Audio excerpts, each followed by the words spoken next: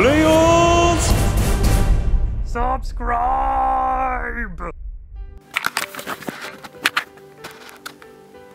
What up players, Warboss up in this mode. I got the 5-man scout squad that comes in the Space Marine Battle Force. So I'm gonna do a little review and assembly video and just let you know what my thoughts are and see what the uh, community thinks. So here are the legs and oh I should probably turn on this side.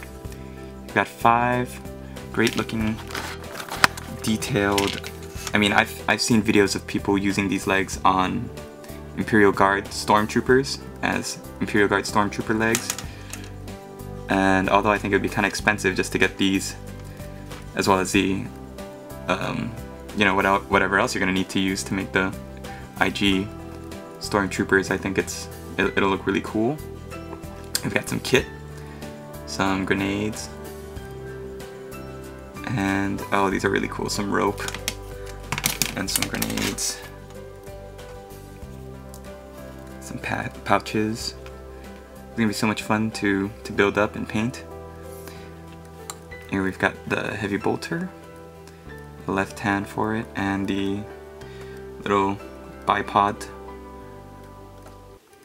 and a little backpack. And these are the six, you got six heads with it even though you only use five. I don't know if I'm gonna use this Robocop one. It just looks ridiculous to me. Geordi LaForge.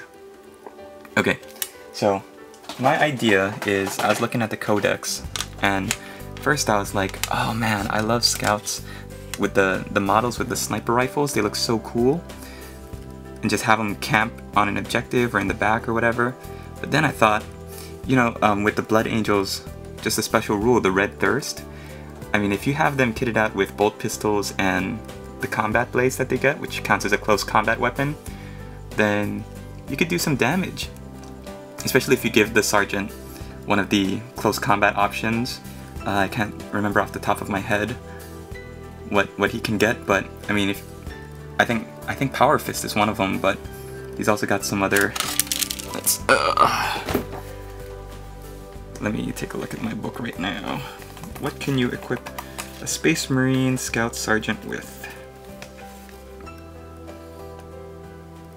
a combi melta, flamer, or a plasma, or a plasma pistol, or a power weapon, or a power fist. Yeah, a power weapon or a power fist. I mean, could do some good damage with it. So that's what I'm gonna do. I'm gonna build up my guys with these bolt pistols and close combat weapons, and I'll show them to you when I get back. Plus the fact that they can outflank if they get the red thirst, and I think, I can't remember what's the name of the special character that comes with some really good special rules. I don't think it was Lemartis. Lemartis, I think it was, um, because that's the Death Company guy, right? Hmm, I'm just rambling, but this is almost turning into a tactics video just based on what I want to equip my guys with. Oh look, an extra bolt pistol for my assault squads. So that's what I'm going to do. I'm going to build these guys up. We'll show you what they look like when I get back. Alright, so I built up my guys, so let's take a look at them one by one. First of all, I'm going to show you the Sergeant. Ooh, my little ghetto mount. I decided to kit him out with a Power Fist. And when I did that, because the Power Fist comes from the regular Space Marine sprue, it looked weird without having a shoulder pad. And then, when I put on a bolt pistol, it looked weird without having another shoulder pad. So, so the Power Fist and the bolt pistol are from the regular, a regular size Space Marine.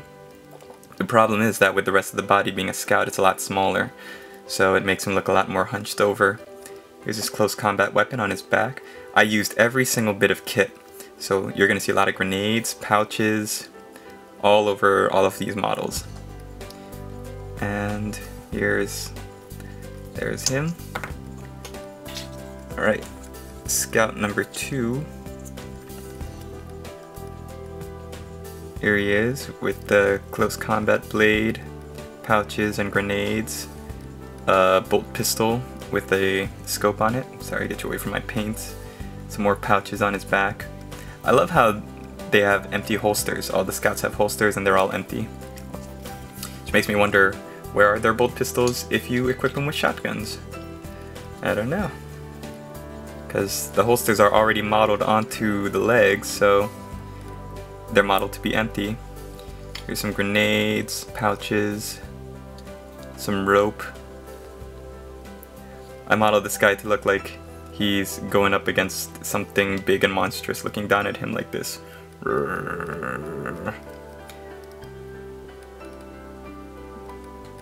I drilled out the barrels of all of my bolt pistols as well. Here's scout number four.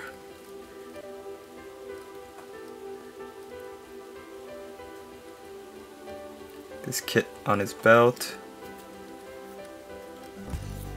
Yeah, I, I, I only used the scout frame for this because I'm not sure, or for, for all of them except for the sergeant, because I'm not sure if I'm actually going to use them. I'm going to have to actually play test and figure out whether or not they're effective or not. And this guy is yelling, Come on! Come on, do it! I'm right here! I'm right here, what are you waiting for? Come on! He's got so much pouches and grenades and kit all over his body. He is ready to go camping, but not on an objective, because these are assaulty scouts. Ah, come on, do it! Do it now! So, yeah, I'm really happy with these guys. I'm going to paint them up just like the rest of my Blood Angels with the with that very weathered, battle-hardened look.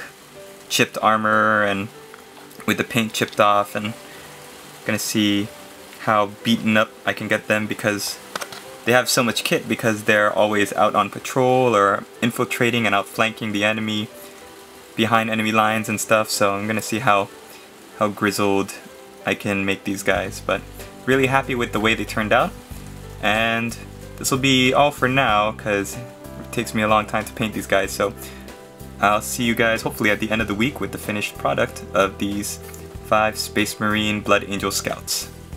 Latest players!